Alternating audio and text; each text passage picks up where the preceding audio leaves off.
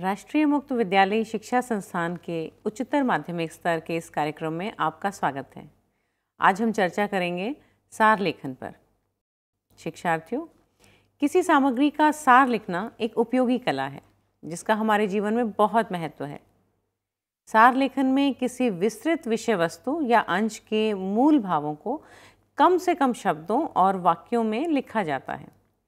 सार लेखन की आवश्यकता, कार्यालय, वाणिज्य, पत्रकारिता, शिक्षा आदि बहुत से क्षेत्रों में पड़ती है। तो सबसे पहले हम यह जान लेते हैं कि इस कार्यक्रम में की जाने वाली चर्चा के उद्देश्य क्या हैं। हमारे उद्देश्य हैं कि हम सार संक्षेपण का अर्थ जानेंगे सार लेखन के उपयोग का उल्लेख कर सकेंगे सार लेखन के प्रमुख चरणों की सूची बनाएँगे। मूल भाव अर्थात केंद्रीय भाव की पहचान करेंगे। दिए गए अनुच्छेद का सार लिखेंगे। मूल भाव के आधार पर सार के शीर्षक की पहचान करेंगे। कार्यालयी कामकाज में सार लेखन का आवश्यकतानुसार उपयोग कर सकेंगे और कार्यालयी पत्रों, टिप्पणियों और रिपोर्टों का सार लेखन कर सकेंगे। शिक्षार्थियों क्या आपने कभी ताज़ा मक्खन खाया है? क्या आप जानते हैं कि मक्खन कैसे निकाला जाता है? दही को रई से बिलोने पर उसका तत्व भाग ऊपर आ जाता है। यह तत्व ही मक्खन कहलाता है। यह मक्खन ही दही का सार होता है। जिस तरह जमी हुई दही को मथ कर मक्खन निकाला जाता है, उसी प्रकार चिंतन की प्रक्रिया से मथ कर किसी भी सामग्री में से सार निकाला जाता है। भाषा के संदर्भ में भी सार यही है। अपनी बात को प्रभावी और रोचक बनाने और उसे पाठकों की समझ में आ सकने योग्य बनाने के लिए लेखक अपनी बात को दोहराता है, मुहावरे लोकोक्तियों का प्रयोग करता है, किसी कथा प्रसंग से उसे प्रमाणित करता है, विद्वानों की उक्तियों को उद्धृत करके उसे ठोस बनाता है, अलंकार युक्त शब्दावली का प्रयोग करता है और कथ्य को विस्तार देता है। ठीक इसी प्रकार, किसी पाठ की सामग्री में से सार और निस्सार बात में अंतर किया जा सकता है। जो बातें महत्व की होती हैं, उन्हें हम स्वीकार कर लेते हैं और शेष को छोड़ देते हैं। जैसे दही से मक्खन निकलता है, उसी प्रकार हमारा मस्तिष्क पूरी सामग्री या बातचीत में से उसका सार निकाल लेता है। शिक्षार्थियों, ये तो हम जानते ही हैं कि आज का जीवन बहुत भाग दौड़ वाला है। लोगों के पास समय की बहुत कमी है। ज़माना इतनी तेज़ी से आगे बढ़ रहा है कि यदि व्यक्ति उसके साथ कदम से कदम मिलाकर न चले तो वह बहुत पिछड़ जाएगा। यही कारण है कि व्यक्ति कम से कम समय में अधिक से अधिक बातें जान लेना चाहता है। कार्यालय में भी ऐसा ही है। कार्यालय में अधिकारियों के पास इतना समय नहीं होता कि वे फाइलों और पत्रों को पूरी तरह से पढ़ें। वे कम से कम समय में अधिक से अधिक फाइलों और पत्रों को निपटाना चाहते हैं। विशेष रूप से वे अधिकारी जिन्होंने हाल ही में कार्यभार संभाला है। उस अधिकारी के पास इतना समय नहीं होता कि वह सभी फाइलें विस्तार से पढ़े, अतः वह संबंधित फ़ाइल की सामग्री का सार प्रस्तुत करने का आदेश देता है। इस तरह की परिस्थितियों में सार बहुत मददगार सिद्ध होता है। सार को पढ़कर अधिकारी जल्द ही ढेर सारी फाइलें निपटा लेता है। सार को पढ़कर व्यक्ति अपनी रुचि का समाचार, लेख या कहानी चुन लेता है। तो सबसे पहले हम ये जानते हैं कि सार किसे कहते हैं। कुल मिलाकर सार पूरी सामग्री के आधार पर तैयार किया गया वह मसौदा है जो संक्षिप्त होते हुए भी सामग्री की सभी मुख्य बातों को अपने में समेटे होता है। जिसके आधार पर पूरी सामग्री को समझा जा सकता है। शिक्षार्थियों, यहाँ आपके मन में प्रश्न उठ सकता है कि जब सार लेखन का इतना महत्व है तो फिर मूल सामग्री की क्या आवश्यकता है? सब लोग सार ही क्यों नहीं लिखते? अपनी बातें विस्तार से क्यों लिखते हैं? आपका ऐसा सोचना सही है, परंतु मूल सामग्री का अपना अलग महत्व होता है, जिसे किसी भी प्रकार से छोड़ा नहीं जा सकता। यह सही है कि कथ्य की जो संवेदनशीलता है, भाषा का जो चमत्कार है, अनुभव की जो ऊष्मा है, वह सार में नहीं आ पाती। सार से काम तो चल जाता है, किंतु रचनात्मकता का उसमें अभाव रहता है। अतः कथ्य को पूरी तरह जानने और समझने के लिए, भाषा के चमत्कार का आनंद लेने के लिए और सामग्री की रचनात्मकता से खुश होने के लिए या विभोर होने के लिए मूल सामग्री का अध्ययन किया जाता है। आप जानते हैं कि कार्यालयों के हर अनुभाग में काम की मात्रा के अनुसार सहायक और लिपिक होते हैं, लेकिन काम को निपटाने की ज़िम्मेदारी प्रभारी अधिकारी की होती है। उसके पास इतना समय नहीं होता कि वे हर मामले से संबंधित पूर्व पत्रों और टिप्पणियों को पढ़ सकें। इसलिए उनके सामने इनका सारांश ऐसे प्रस्तुत किया जाता है कि वे आसानी से सारे मामले को समझ सकें। कभी कभी मामला उच्च अधिकारियों के सामने रखना पड़ता है। उनके सामने केवल मामले का सार प्रस्तुत किया जाता है, क्योंकि उन्हें प्रतिदिन बहुत सारे मामले निपटाने पड़ते हैं। उनके लिए हर मामले को ज़बानी याद रखना मुमकिन नहीं होता। कार्यालय में कई मामले बहुत समय तक चलते रहते हैं। इस दौरान यदि संबंधित सहायक छुट्टी पर चला जाए तो फाइलें दूसरे सहायक को देखनी पड़ती हैं। उसे संबंधित पत्रों और टिप्पणियों के सार से मामले को समझने में सहायता मिलती है। सहायकों का एक अनुभाग से दूसरे अनुभाग में स्थानांतरण भी होता रहता है। नए आए सहायक को सार के द्वारा मामलों को समझने में बहुत सुविधा मिलती है। अब तो आप समझ ही गए होंगे कि कार्यालयों के काम में सार लेखन कितना महत्वपूर्ण और आवश्यक है। अब हम बात करते हैं सार लेखन की प्रक्रिया के चरणों के बारे में। आइए अब हम देखें कि अच्छा सार लिखने की प्रक्रिया क्या है और इसके लिए हमें किन किन बातों का ध्यान रखना है। सार लेखन की प्रक्रिया के चरण हैं, मूल सामग्री का बोध, मूल भाव की पहचान, संबंधित भावों की पहचान मूल भाव को स्पष्ट करने वाली व्याख्या, उदाहरण और दोहराव की पहचान मूल भाव को प्रभावी बनाने वाले तत्वों, अर्थात कथाओं, अलंकारों, प्रसिद्ध कथनों और रचनात्मक तथा व्यास शैली की पहचान मूल भाव को स्पष्ट करने के लिए विस्तार देने वाले वाक्यों को हटाते हुए सार लेखन। सार लेखन की दो विधियाँ हैं। पहली विधि है त्याग विधि और दूसरी विधि है परिवर्तन विधि। त्याग विधि में शब्दों को छोड़ना होता है, अर्थात जो शब्द हमारे काम के नहीं हैं और जिन्हें हटा देने पर भी अर्थ में कोई परिवर्तन नहीं आता, उसे हम त्याग विधि कहते हैं। इस विधि में लेखक का परिचय, उनका पता आदि नहीं लिखा जाता। किसी बात को यदि उदाहरण आदि देकर समझाया गया है तो उन्हें छोड़ दिया जाता है। इसमें केवल मूल संदेश ही लिया जाता है। इस विधि का प्रयोग करते हुए लोकोक्ति, अलंकार आदि का प्रयोग भी त्याग दिया जाता है। वाक्यों को संकुचित करके लिखा जाता है। अनेक शब्दों के लिए एक शब्द से काम चलाया जाता है। भाषा में चुस्ती और कसाव अपेक्षित है जिससे सार सरल, स्वाभाविक, सुंदर और प्रभावी लगे।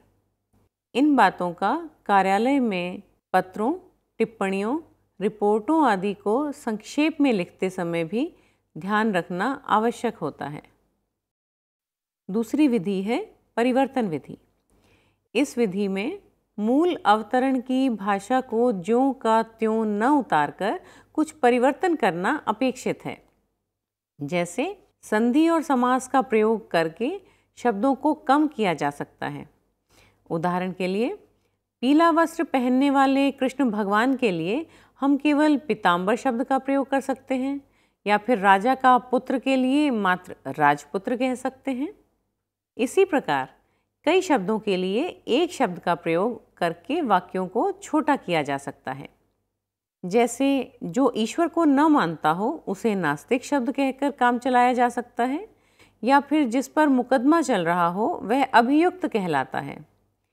अच्छे आचरण वाला सदाचारी और जो पढ़ा जा सके, वह पठनीय आदि का प्रयोग करके हम परिवर्तन विधि के माध्यम से सार लिखते हैं। शिक्षार्थियों, सार लिखते समय हम प्रमुख बिंदुओं या शब्दों को रेखांकित कर लेते हैं और प्रमुख बिंदुओं को समेटते हुए संपूर्ण सामग्री को अपनी भाषा में लगभग एक तिहाई शब्दों में लिखते हैं। परंतु सार लिखने का एक तरीका और भी है। कभी कभी हम मूल सामग्री को पढ़ते समय विस्तार देने वाले शब्दों को हटा देते हैं और निरर्थक शब्दों को छोड़ देते हैं। इसे समझने के लिए हम एक अनुच्छेद पढ़ते हैं। भारत का काव्य रूपी आकाश मंडल अगणित प्रभावपूर्ण जुगनुओं से दैदीप्यमान है, पर तुलसीदास का तेज, उज्ज्वलता और चमत्कार से परिपूर्ण, उनकी प्रदीप्त कांति और कीर्ति बढ़ चढ़कर है। वे इस आकाश मंडल के असंख्य तारों के बीच मध्यान्हकालीन प्रचंड मारतंड के समान प्रकाशमान हैं। किसी ने कहा भी है कि तुलसीदास हमारे लिए ही नहीं, हमारी आगामी संतानों के लिए भी एक अनुकरणीय और अनुपम आदर्श हैं। जो स्थान अंग्रेज़ी साहित्य में शेक्सपियर का है, उससे कहीं ऊँचा स्थान हम हिंदी साहित्य में तुलसीदास को देते हैं। क्यों न दें? ये कोरे कवि नहीं थे, वरन ये थे एक अद्वितीय चरित्र वाले कवि सम्राट परमोच श्रेणी के महात्मा। राम के अनन्य भक्त, धर्म और नीति के पथ प्रदर्शक, दार्शनिक गंभीर तत्वों को सरल, सरस शब्दावली में समझाने वाले उपदेशक एवं भविष्य के गर्भ में निहित घटनाओं को बतलाने वाले महात्मा। इस अनुच्छेद के कुल शब्द एक सौ चौंतीस हैं। इस अनुच्छेद में लेखक ने कवि तुलसीदास के व्यक्तित्व पर प्रकाश डाला है। इस भाव को स्पष्ट करते हुए लेखक ने कहा है कि वे इस आकाशमंडल के असंख्य तारों के बीच मध्यान्हकालीन प्रचंड मारतंड के समान प्रकाशमान हैं। उन्होंने उदाहरण दिया है कि जो स्थान अंग्रेज़ी साहित्य में शेक्सपियर का है, उससे अधिक कहीं ऊँचा स्थान हम हिंदी साहित्य में तुलसीदास को देते हैं। वे इस आकाशमंडल के असंख्य चमकीले तारों के बीच मध्यान्हकालीन प्रचंड मारतंड के समान प्रकाशमान हैं। यह कहकर पहले वाक्य में उसने अपनी बात की, व्याख्या की है। अगले वाक्य में इन्होंने शेक्सपियर का उदाहरण देकर अपनी बात को स्पष्ट किया है। आगे इस अनुच्छेद में लेखक ने उच्च प्रदर्शक कहकर अपने भाव को दोहराया है और भाव को प्रभावी बनाने के लिए लेखक ने दूसरी पंक्ति में बढ़ चढ़ कर होना मुहावरे का प्रयोग किया है। इसमें आप देख सकते हैं कि लेखक ने बहुत सारे विशेषणों का प्रयोग किया है। और इस प्रकार से उन्होंने अपने भाव की व्याख्या की है और तुलसीदास की प्रशंसा की है। बहुत अधिक जैसे उन्होंने विशेषणों का प्रयोग किया है और कहा है कि क्यों न दें, ये वाक्य लेखक की रचनात्मकता शैली का उदाहरण है। तो शिक्षार्थियों, आप समझ ही गए होंगे कि इस अनुच्छेद का मूल भाव है कवि तुलसीदास का प्रभावशाली व्यक्तित्व। कवि तुलसीदास के व्यक्तित्व की विशेषताएँ जैसे प्रथ प्रदर्शक दार्शनिक राम के नन्य भक्त आदि इन सब विशेषताओं में आपने देखा कि मूल भाव को स्पष्ट करने के लिए लेखक ने कहाँ व्याख्या की है, कहाँ उदाहरण दिया है और कहाँ अपने भाव को दोहराया है।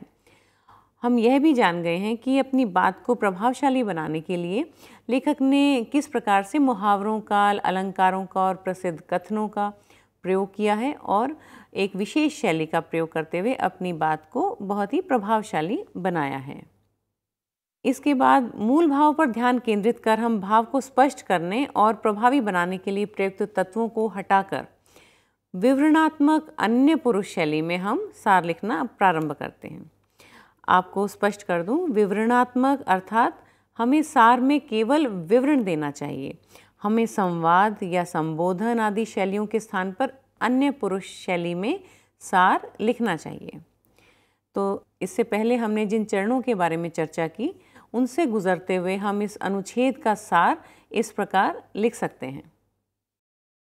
विश्व साहित्य में शेक्सपियर के समान तुलसीदास का महत्वपूर्ण स्थान है।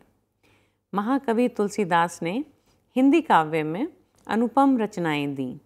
वे कवि होने के साथ साथ चरित्रवान अनन्य राम भक्त महात्मा, दार्शनिक, धर्म और नीति के पथ प्रदर्शक गंभीर बातों को सरल भाषा में समझाने वाले उपदेशक और भविष्य दृष्टा थे।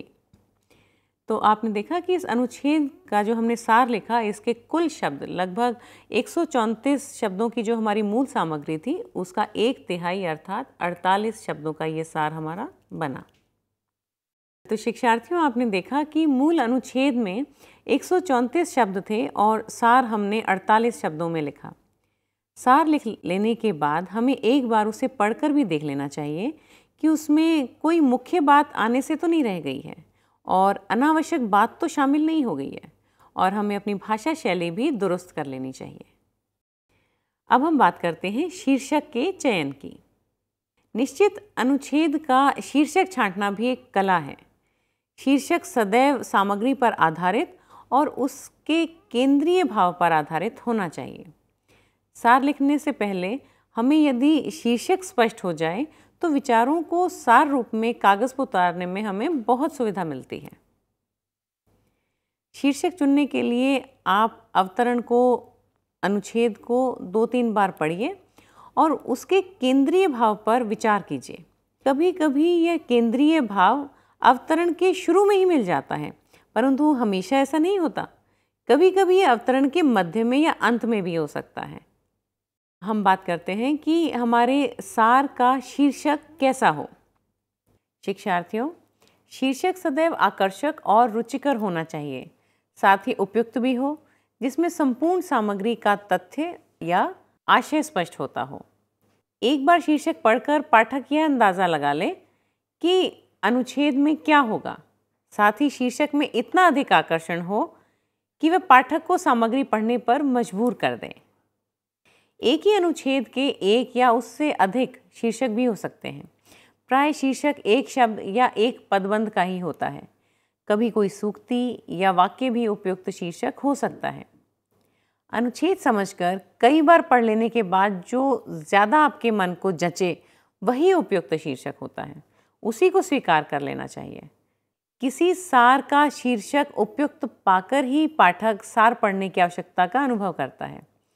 तो शीर्षक बहुत सोच विचार कर ही चुनना चाहिए और इसी से आपकी बुद्धि की भी परख होती है।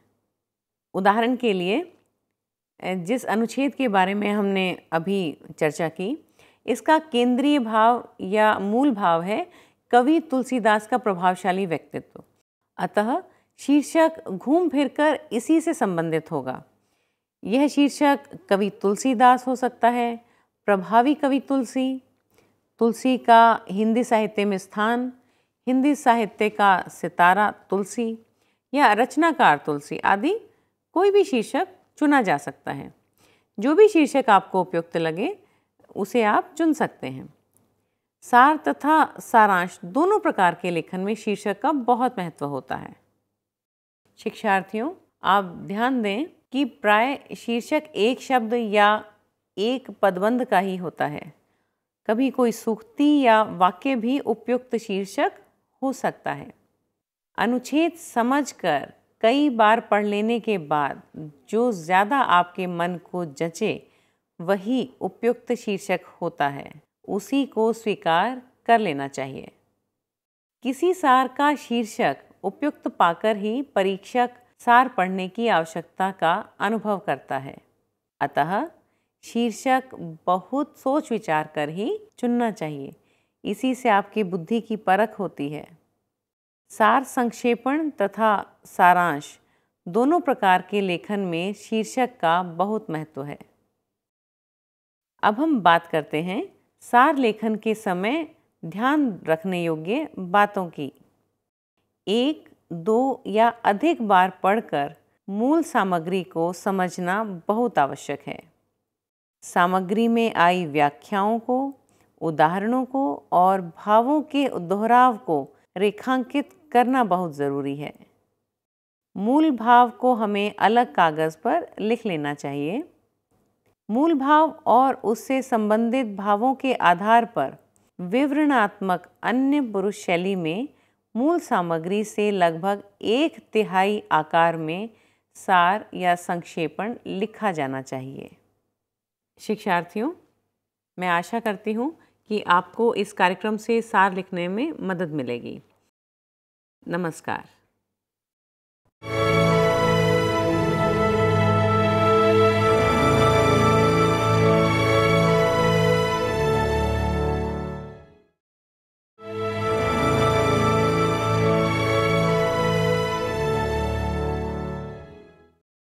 हिंदुस्तान के हर कोने में नौजवानों के पास प्रतिभा है। उन्हें अवसर चाहिए। एनआईओएस देता रहा है युवाओं को अवसर आगे बढ़ने का। एनआईओएस से पढ़ने वाले इन युवाओं ने किया है संस्थान को गौरवान्वित। दिव्यांगों ने बन के दिखाया है सबल और आत्मनिर्भर एनआईओएस के साथ। आप भी जुड़िए एनआईओएस के संग।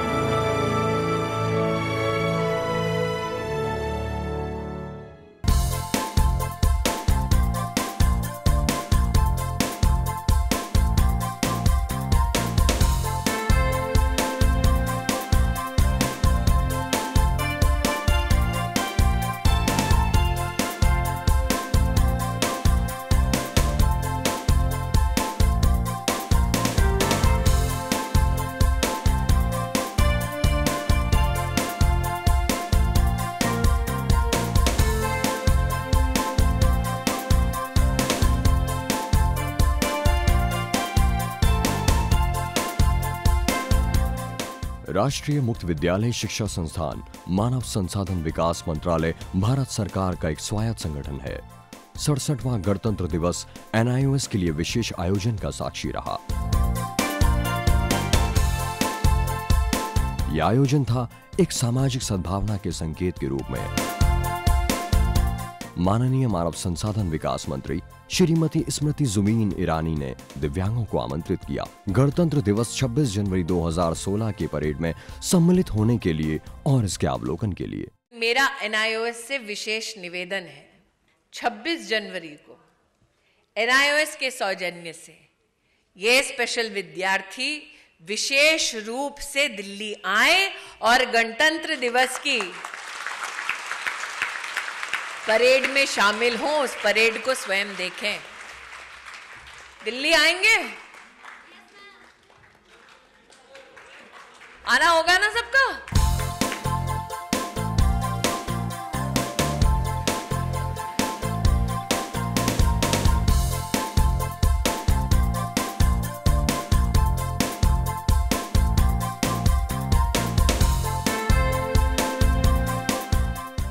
दिव्यांग शिक्षार्थियों के लिए दिल्ली में अशोक रोड स्थित वाई में ठहरने का विशेष प्रबंध किया गया।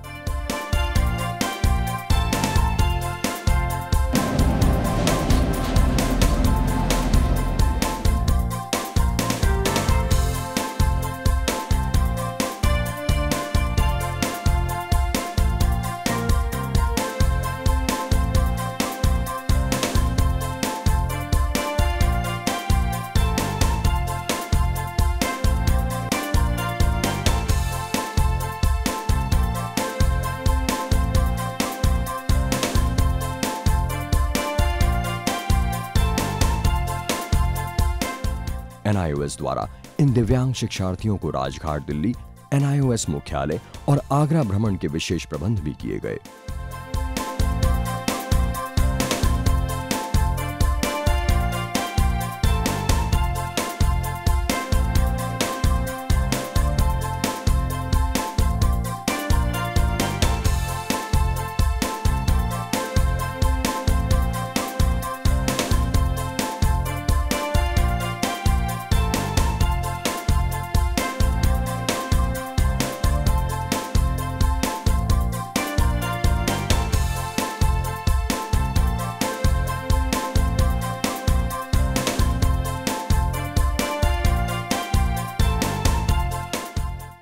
द्वारा इन दिव्यांगों के लिए राजपथ के 20 नंबर अहाते में परेड देखने के विशेष प्रबंध भी किए गए।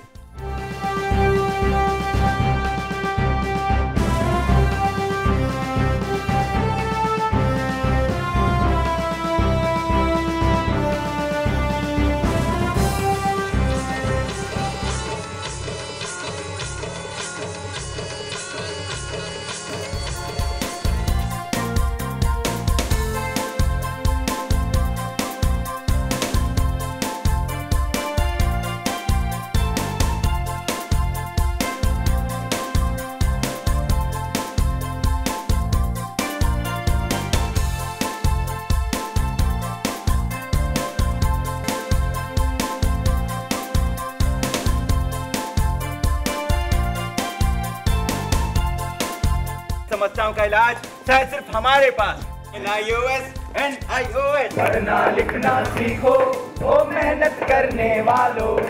पढ़ना लिखना सीखो ओ भूख से मरने वालों। दूर दराज क्षेत्रों से आए इन दिव्यांग शिक्षार्थियों के चेहरों की रौनक और आँखों की चमक से खुशी और सौहार्द साफ़ सी झलकती दिख रही है। एन के थ्रू हम लोगों को ये मौका मिला है कि हम लोग आगरा और दिल्ली की सैर कर सकें। इस एक्सपीरियंस से हमारे बच्चे बहुत ही एक्साइटेड और खुश हैं और हमारी पूरी टीम मेंबर हमारे प्रिंसिपल सर सभी को ये मौका बहुत अच्छा लगा है और वो लोग सब सब खुश हैं। अच्छा एक बात बताइए हमने किसी ने सुना कि आप मोदी जी से पास से बहुत पास से मिले क्या? पहली बार? मोदी ऐसे कर रहे थे? कितने पास थे दूर थे पास ये ऐसे ऐसे। हैं? आपको बोला आँखों में देखा क्या? आँखों में देखा क्या? आँखों में देखा। ये इंटरनेशनल टेबल टेनिस खिलाड़ी है। इन्होंने जहाँ गई है वो इंडोनेशिया गई है जापान से खेल के आई है और इंडिया में कई एक जगह पे खेली है। तो वो अपना सारा एक्सपीरियंस ये साइन लैंग्वेज के द्वारा बताई है कि हम हर जगह पे जा रहे हैं और खेल रहे हैं। मैं बहुत खुश हूँ। मतलब यहाँ आने के बाद लगता है कुछ और अलग ज़िंदगी मिल गया। हमारे पेरेंट्स भी नहीं सोच सकते थे कि हमको ऐसा कुछ मिलने वाला है यहाँ। इसलिए मैं एन की बहुत ज़्यादा शुक्रगुजार हूँ और मैं इनसे हमारी एक रिक्वेस्ट है कि वो हमें और ऊँचा तक ले जाएँ और जहाँ तक हमसे होगा मेहनत करना। हम मेहनत करने में से पीछे नहीं हटेंगे। मैं हमें दिल्ली आने में बहुत अच्छा लगा। बाहो लाला थतुल मोहला चेतना निकनो हलक We saw the Republic Day parade and the fighter planes and Assam and all the jhakias and it was superb, it was brilliant. Yeah, even, yeah, Prime Minister, Prime Minister, we met, we saw him, we shook hands with him. Now the third day, and I was chairman, office we have visited and we've met the chairman. And how do you feel? It was all good, right? Yeah, all of them are very uh, thankful to NIOS for all the support that they do. Thank you. NIOS के लिए ये सौभाग्य की बात है कि इतने सारे बच्चे जो दिव्यांग हैं वो यहाँ आए और इसकी शोभा बढ़ाए कई बच्चों ने ये कहा कि उनके लिए सौभाग्य का अवसर था, लेकिन मेरा ऐसा मानना है कि एनआईओएस के लिए ये सौभाग्य का अवसर था कि ये बच्चे समय निकाल पाए, इतनी कठिनाइयों के बावजूद यहाँ आए और इतने प्रसन्न हैं कि अपनी संस्था में वो आए हैं। एन प्रतिबद्ध है। समाज के दिव्यांगों के प्रति गुणवत्ता परक शिक्षा प्रदान करने की दिशा में